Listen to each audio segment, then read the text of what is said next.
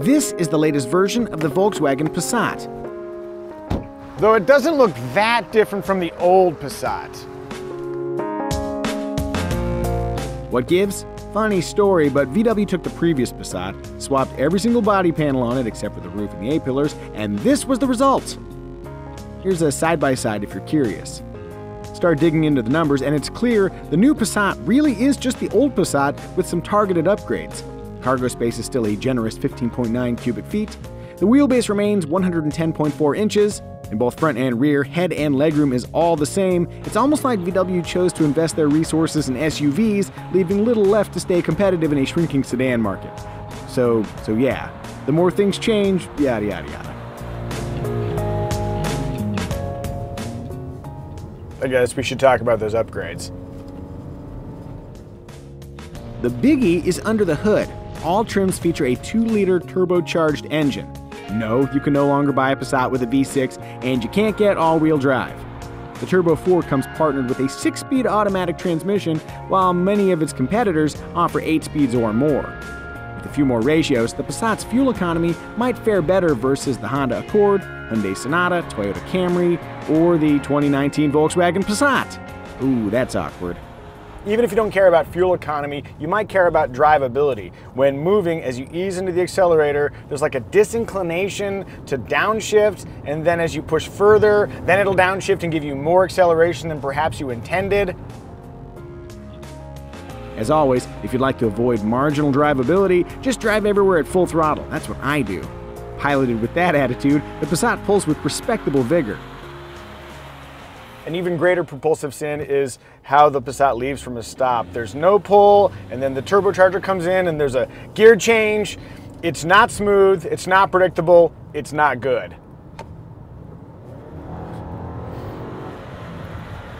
Braking is similarly problematic. The brake pedal sits high, so shifting from the accelerator to it is awkward, and when you press on it, it's like pushing a plunger into pudding. It's gushy on the, on the entry, and when you pull up, it's still kind of stuck there. Uh, all that makes it very hard to stop smoothly, and uh, I don't like it. He doesn't like it. I don't like it. On a redemptive note, ride quality is smooth with a soft, floating feel. If you want to put down long hours in the saddle at a consistent pace, the Passat is a fine choice. Oh, and look at how big the back seat is. At 5 foot 10 inches, I can easily sit behind myself with lots of legroom to spare. Headroom is good as well. Beyond voluminous rear quarters, the cabin offers usability advantages. There's a sunglass holder, a sizable glove box, a storage hold near the driver's left knee, a well placed phone zone, a coin corral that I'll just use to store my lip balm. There are rear map pockets that I'm guessing you won't use for maps, heated rear seats, and two rear USB ports come on the highest SEL trim. And if the roomy trunk isn't quite roomy enough, the rear seats fold down. Howdy, fellas. Welcome to the trunk.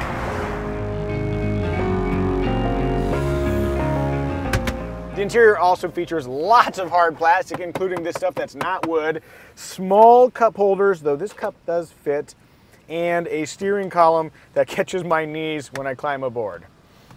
I'll stop doing that, that hurts my knees. Huh. what tree did you come from? Rounding out the interior, we have comfortable, well-positioned armrests, though I miss the classic height-adjustable armrest VW offers on some of their other cars. On the Micah Muzio Elbow Comfort Index, I'm going to give the Passat a decent but decontented squirrel. For less than $24,000, including destination charges, the Passat S trim includes LED lighting, blind spot monitoring, automatic emergency braking with pedestrian detection, and a 6.3 inch infotainment screen carried over from the previous Passat that looks kinda small by modern standards. Apple CarPlay and Android Auto are also standard, thank heaven. If you can afford it, we recommend stepping up to the SE trim. Yes, it costs an extra $2,900, but I sure don't want to live without keyless access and push button start, a heated power driver's seat, dynamic cruise control, and lane keeping assist. Do you? Nah, didn't think so.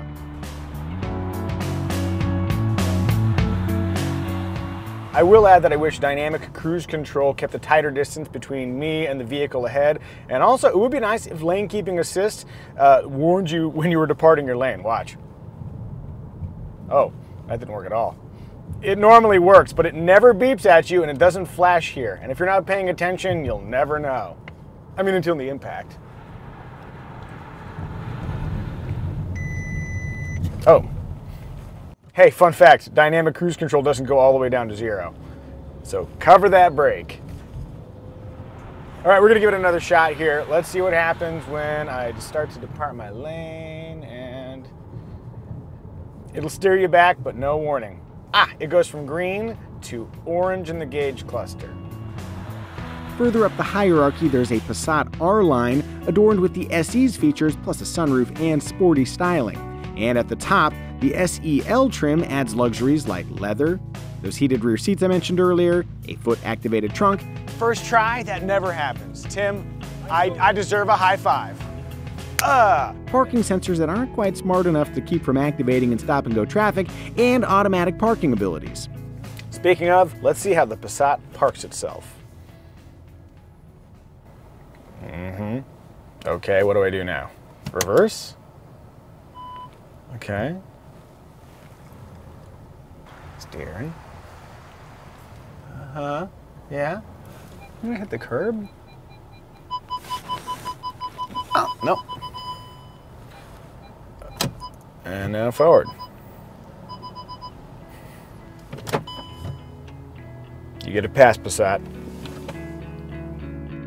Compared to mid-sized sedans like the Honda Accord, Toyota Camry, Hyundai Sonata, Kia Optima, Mazda 6, and Subaru Legacy, the Passat's base price occupies the low end of the spectrum. Keep in mind, though, resale values have a large influence on overall ownership costs, and among mid-sized sedans, there are stronger players than the Passat. Speaking of ownership costs, if, like me, you've experienced reliability issues with VWs in the past, Volkswagen's 6 year, 72,000 mile warranty might provide some peace of mind. For those who loved the previous Passat, the latest version offers more of the same, plus more equipment and competitive prices. All of that might make the Passat a great value, but it is nothing special.